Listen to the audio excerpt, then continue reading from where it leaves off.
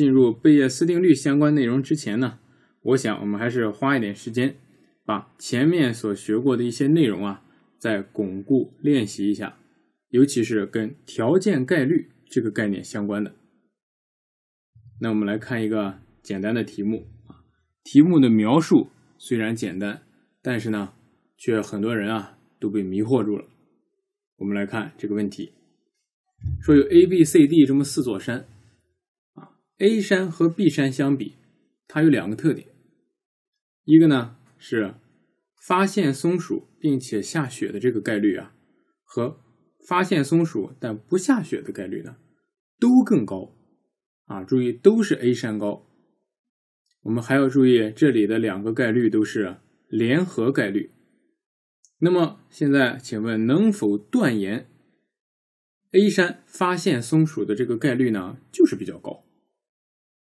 大家思考一下，我们再来看看第二道题。第二个题呢，说的是 C 山和 D 山。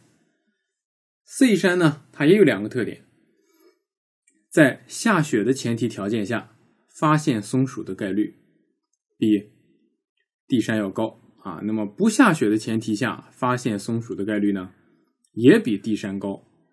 好，你看从句式结构上来讲，两个题完全一样，但是什么不一样呀？核心在哪里？关键的不同在这儿啊，两个概率里面的符号不一样。第一题里面是逗号，也就是联合概率；第二题呢，里面是条件概率。好，那么现在请问 C 山能否说自己啊发现松鼠的概率就是比 D 山高？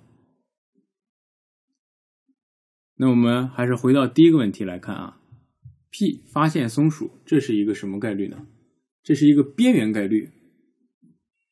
那边缘概率是怎么求出来的呢？我们能不能通过两个联合概率高就说边缘概率高呢？答案是可以啊，因为你把这两个联合概率加起来，不就是边缘概率了吗？啊，发现松鼠且下雪，发现松鼠且不下雪，那就覆盖了所有。发现松鼠的情况，两个这个加法的因子都高的话，结果肯定也高，这个没有问题。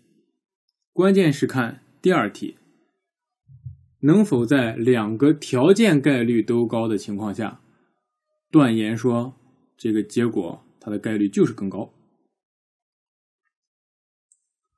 首先，我们说能不能还像上一道题一样，直接把两个条件概率一加？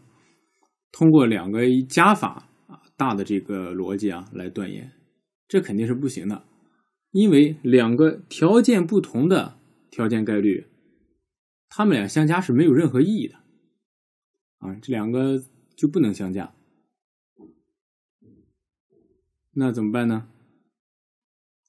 我们说，你如果要断言一个事情成立，其实比较难，你需要有一个非常坚实的逻辑。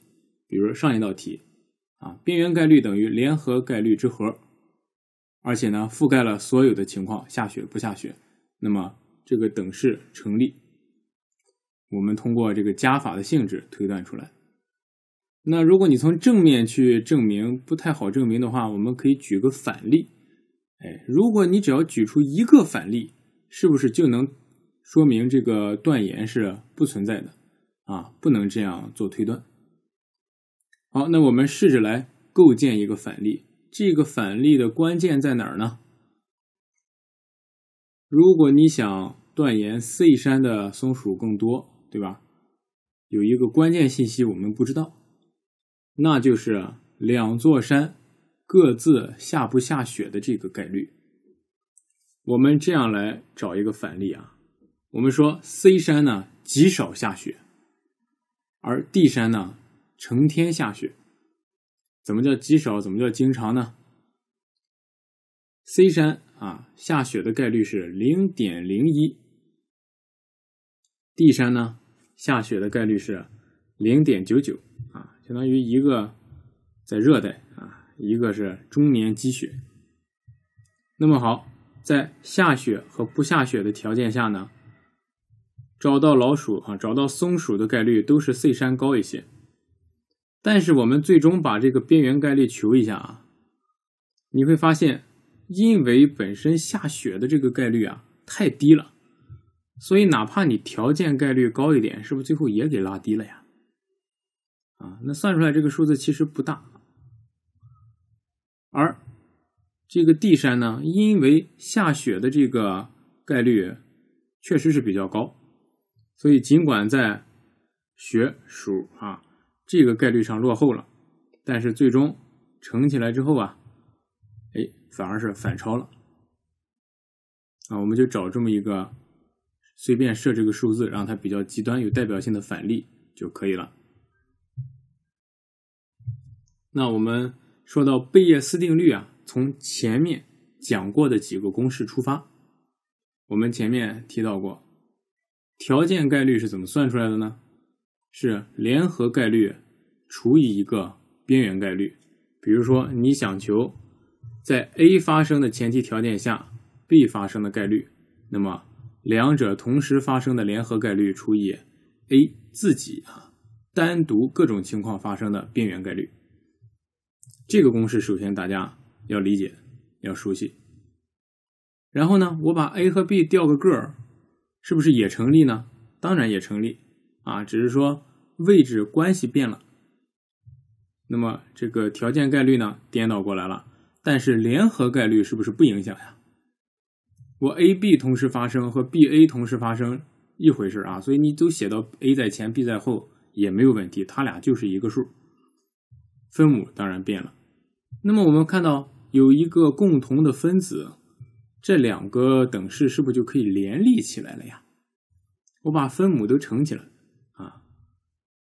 联合概率 PAB 等于 PB 乘以 PAB，但又等于 PA 等于 PAB。好，我们现在啊扔掉联合概率不要，因为很多时候我们都不知道联合概率是多少，我们也不可能说像以前那种简单例子一样去那个画一大堆表，对吧？我们重点就看后面两部分。后面两部分啊，我把其中一个分母再挪到右边去。我们看，P A B 这样一个条件概率等于什么呢？等于 P B，这个叫做先验概率，先验概率乘以一个条件概率，再除以一个 A 的边缘概率。这个公式呢，就是贝叶斯公式，这是非常非常重要的一个公式啊。由此衍生出来的很多算法呢，在各种领域啊，比如说现在的这个机器学习啊、人工智能都有非常重要的应用。那我们啊，通过一个小例子啊，一个比较有趣的习题，来巩固一下大家对贝叶斯定律的掌握和认知。大家可能都玩过一些电脑游戏啊，其中经常可见的一个场景是什么呢？我们打败了一个 BOSS。掉下来一个盒子啊，或者叫宝箱。这个游戏啊比较阴损啊，这个宝箱也不是一打开一定是宝，它有三分之二的概率里面是个陷阱。你看江湖很险恶啊，这个有一半多的概率它竟然宝箱里面不是宝是陷阱。好在我们啊也不是纯粹这个上去莽啊，我们也有点金刚钻。玩家呢有办法可以检查这个陷阱，啊，检查这个宝箱，看看能不能查得出来。但是啊，我们的这个检查装置也不是很完美，它有四分之一的概率呢是检查错了的。怎么个意思呢？就是说，如果里面有陷阱，你有四分之一的概率会得到一个检查结果是没有发现陷阱。那一个正常的宝箱里面真有宝，也有四分之一的概率呢，会返回说里面是陷阱，然后你就不打开了，啊，反正要么这个错杀啊，要么放过。那现在啊，给定一个场景，就是有个玩家得到了一个宝箱，他检查了一下，结果是无陷阱，啊，结果是未发现。那么求这个宝箱啊，实际上。有陷阱的概率，这个语言描述可能不够直观，我们写成公式：有陷阱的概率三分之二，这个是已知的。那么在有陷阱的前提下，没有发现的概率呢是四分之一。在没有陷阱的前提下呢，你反而发现了啊，就是误报的概率呢是四分之一。那么现在问的是，在未发现的前提下，就是已知检查结果反推。箱子里面的内容，这个概率是多少？那这就是贝叶斯定律的一个用处。很多时候我们是不知道一个黑箱里面是怎么样的，但是我们可以通过一些间接的手段去反推真实存在的这个概率。在第一节课当中呢，我们就介绍了一种方法论啊，就是用面积来。对应概率，那我们可以把整个一个边长为一的方块看作是样本空间，这个空间里呢所在所占领的面积就是对应的概率。好，那么我们啊，先把这个方块呢横着砍一刀，有三分之二的面积呢是有陷阱的，对吧？对应的是三分之二概率里面就是有机关有陷阱。三分之一呢没有陷阱，然后呢，我们把这个未发现，就是报告未发现这个结果所占的面积呢，在上面也画出来。我们看，对于有陷阱的前提来说呢，未发现占到了四分之一，而对于本来就没有陷阱的这个事情来说呢。未发现占到了四分之三，啊，注意这个地方是四分之三，因为错误率四分之一，说明有四分之三的概率是可以正常探测的，啊，于是呢，我们得到了这样一个图片。好，那么现在我们要求的是什么呢？我们要求的是未发现，那是不是也对应的就是图上啊打着阴影？斜线阴影的这个面积，这个面积都是对应着机器反馈未发现。那么在这里面有陷阱的又占多少呢？就是红色阴影占据整个阴影面积的比例。那这里面所有关键的边长我们都知道，而形状呢都是矩形，所以计算并不困难。我们看，在未发现的前提下，有陷阱的概率等于什么呢？我们呢有一个先验的知识，就是三分之二的概率有陷阱。但是通过有陷阱的情况下，未发现的这个误报概率呢，我们对整个判断进行了修正。啊，于是结果呢就是四分之一乘以三分之二，这就是有陷阱。未发现啊，这个概率，然后呢，除以所有未发现反馈得来的总的概率，答案是五分之二。那么你看，即便我们有一个百分之七十五正确率的探测器，这个在未发现的结果下呢，还是有百分之四十会中招啊。因此，你看到这个结果是未发现，可千万不要高兴的太早。要评估一下风险，如果快没血了，就先补血啊。如果发现血不满了，这个箱子就留着再开啊。这个风险还是比较高的。那么这是两组这个随机变量。那么我们把这个 Pb 啊叫做先验概率，而 AB 就是给 B 加了一个前提条件啊，比如说我们获得了一些。额外的信息，给这个呢叫做后验概率。我们可以把后验概率认为是获得额外信息以后对先验概率的一种修正。那我们呢再看一个稍微更复杂一点的例子啊，这里面呢就有三组随机变量。说我们在这个宝箱里面呢，有可能会捡到三种道具，三种呢都是盾牌。盾牌呢分三个档次，分别是烂盾、好盾，还有牛盾。他们这个品位差在哪儿呢？第一是掉落的概率。那么，当你要拿到一个盾的时候啊，有百分之五十啊，或者说零点五这个概率呢，拿到都是这个烂盾。三分之一能拿一个好一点的，只有六分之一能拿到真正像样的啊，比较牛的这个盾牌。烂盾为什么烂呢？因为它的功能啊，就是有十八分之一的概率可以格挡一次攻击，聊胜于无，是吧？好盾是好在哪儿呢？它这个格挡的概率呢，就提高到了三分之六分之一。而牛顿呢，它又是牛在什么地方呢？拿着这个盾牌。有三分之一的概率可以格挡一次攻击，这个就非常可观了。好，现在啊，我们回归到这个游戏场景里面，问：你现在打开这个宝箱，拾取并且格挡一次攻击的概率是多少？啊，就是在这样的一个呃生成概率分布的情况下，我们能够格挡下一次攻击，这个概率是多少？那么，如果啊，我们真的成功格挡了一次攻击，就是盾牌生效了。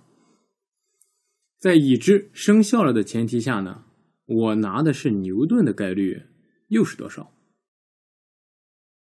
那我们两个问题依次来看，先看第一个吧。